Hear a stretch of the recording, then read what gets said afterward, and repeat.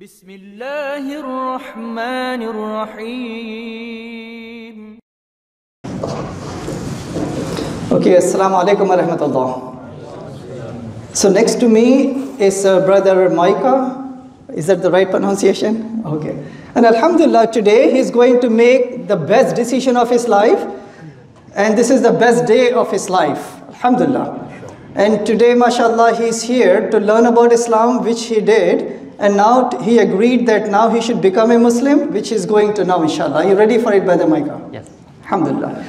Before that, quickly, our brothers and sisters maybe they would like to know, you know, what was the spark that uh, compelled you or motivated you to look into Islam? There were a lot of them, but um, mainly just the the effect that I could have on my life and then my community too. Okay, so it gives you like a motivation, encouragement Correct. to like work for the community which you found in Islam. Yeah, I have.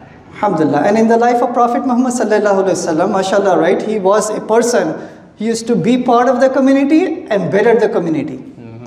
So, mashallah, brother Micah, he's a teacher, he's a professor. Uh, he has really good communication skills, and I pray that may Allah make you an ambassador, a speaker, a scholar of Islam. Ameen. So, with that, inshallah, let's recite the Shahada. Shahada means the testimony. Yeah, you can take it out. You're vaccinated, right? Yeah. Okay, I'm just joking. boosted. Okay. And boosted. So. You're boosted too, okay, mashallah.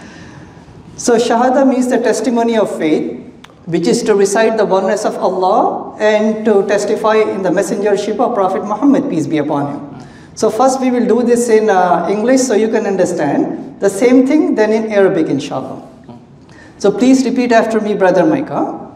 Uh, I bear witness I bear witness that there is no other God that there is no other God besides one God, Allah, besides one God, Allah, and I bear witness, and I bear witness Muhammad, Muhammad, peace be upon him. peace be upon him, is the messenger of Allah. is the messenger of Allah.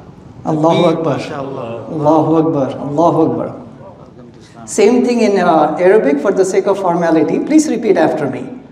Ashhadu Ashhadu an la an la ilaha ilaha illallah illallah wa ashhadu wa ashha- wa ashhadu anna anna Muhammadan Muhammadan abduhu abduhu wa rasuluhu wa las- wa rasuluhu. Okay, Allahu Akbar. Allahu Akbar. Allahu Akbar. So, really, two quick points, right? First, the good news. And the good news is that Allah subhanahu wa ta'ala, He is the most forgiving, He is the most merciful. And through Prophet Muhammad, peace be upon him, He mentioned that anyone who comes back to Islam, Allah is going to forgive all of their past sins. Right? Such a big, you know, favor from Allah. Um, and we hope and pray that, uh, so in the eyes of Allah, no blemish, no sin, pure and innocent like a newborn baby, as they say. All right? And we, and we pray to Allah that may Allah subhanahu wa ta'ala uh, give you more knowledge, firmness of faith, practicing of faith. And we also pray that uh, by your good communication skills, by your blessings that Allah has given you, you first and foremost, you start sharing this message of Islam with your immediate family.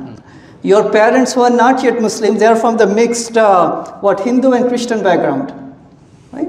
So we hope and pray that uh, may Allah soften their hearts and minds so they can become receptive to Islam. And uh, then obviously with the blessing Allah has given to all of us, uh, we hope and pray that you and all of us, we become ambassadors of Islam to our immediate community and then to all of humanity. With that, brother, welcome to Islam. Thank you. Islam, mashallah. Alhamdulillah.